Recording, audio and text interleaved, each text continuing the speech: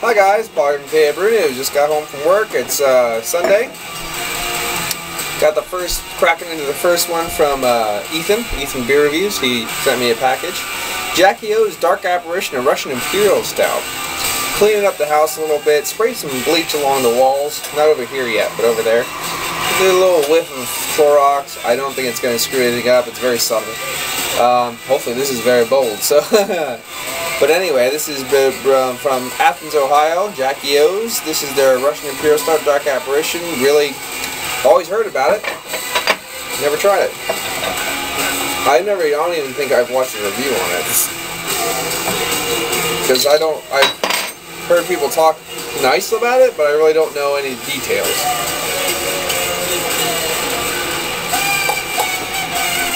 Little merciful Fate, little Jackie O's.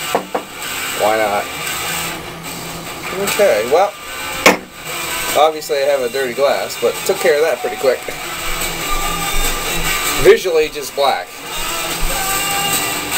Yeah, visually, I mean, just the softest glow of a ruby hue maybe coming from the very tip of the glass. Other than that, just alcohol legs going 10.2 alcohol by volume. I do 10.5 alcohol by volume. Sustainably crafted with purpose. This is the 2014 vintage.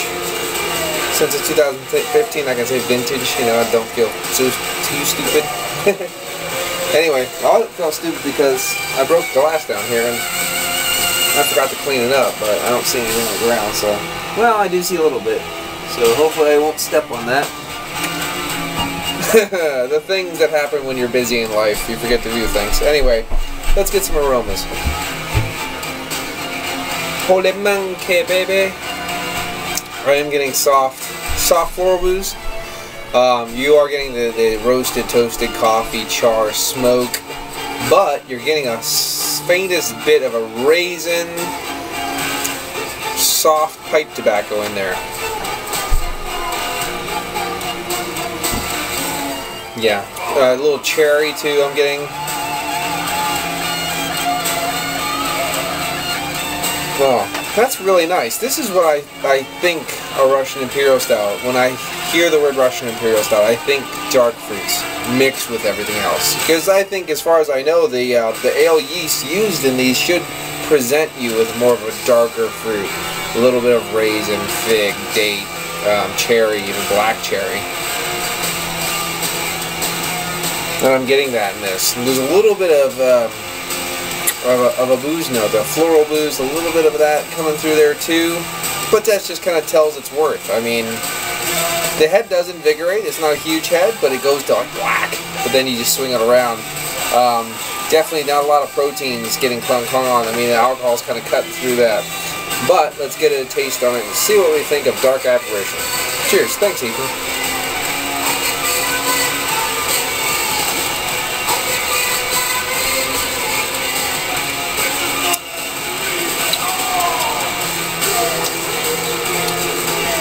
The overall body is a low, a low full mouthfeel.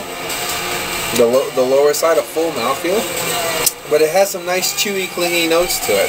Um, not as clingy as some I've had, but it does cling on for a little bit. Let you enjoy it.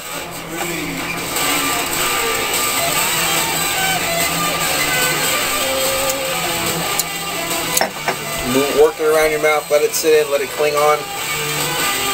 getting some of those Baker's dark chocolates out of that even the slightest vein of milk chocolate.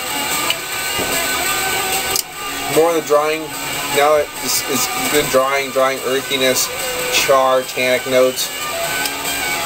A little bit of that booze note even too probably drying me out. Even subtle notes of that earthy coffee baker's chocolate as it dries.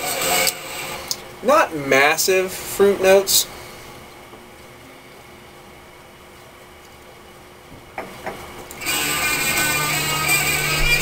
translating from the uh, smell to the taste. On the rolling front of this as you work it around you still get a little bit of that raisin coming through really nice.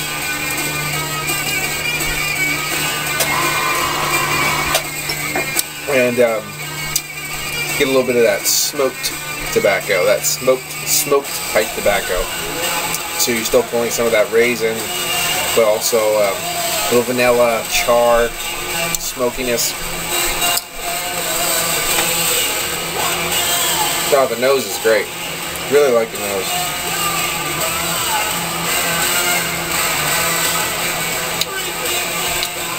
Yep. Overall, I think it's it's good. I like it. Um, could definitely drink more. More is good. Um, yeah, a little bit on the low, uh, the low side of full. The the the the flavors are nice. They don't cling on for very long, but they are pretty damn solid for the style. Let's see what it says.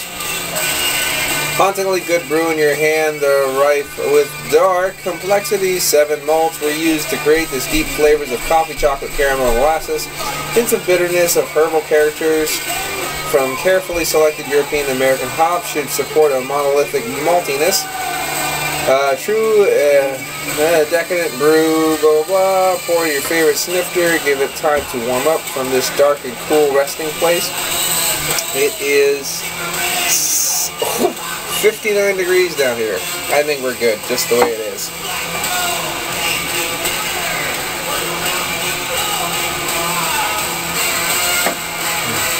It is nice. It is nice. Um, is it not going blow my doors off? No? It's not, but that's not a bad thing though. It's not saying it's bad. Definitely not. Um, I'd definitely like to homebrew this. But I would say probably give it around a 9. Yeah. 9. Now that you can do quarter points on Untappd.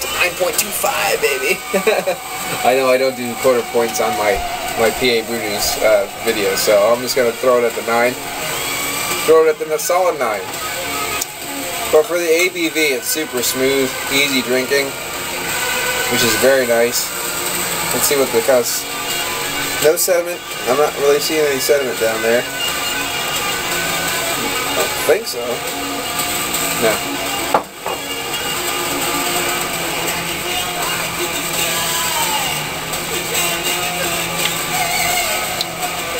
Yep, even with everything in, I want to make sure.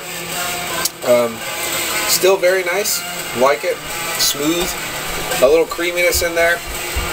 Um, there it is, 9 out of 10. It's still a good beer. I think you should definitely get a go if you like, if you're big into the Imperial Stout section of the world. Uh, this is definitely one that you should have on your bucket list to try. Um, much, much like all Imperial Stouts, I mean, I gotta try them. And uh, th this is definitely not disappointing me. A 9 out of 10 is a fine brew. This has been Paul from PA Brew News. Thanks a lot, Ethan. I don't know if this is a long or short review. I'm just uh, talking like that. Cheers.